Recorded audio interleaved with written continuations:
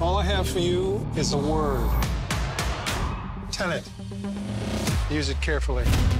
It'll open the right doors, some of the wrong ones, too.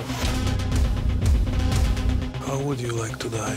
Oh, You chose the wrong profession.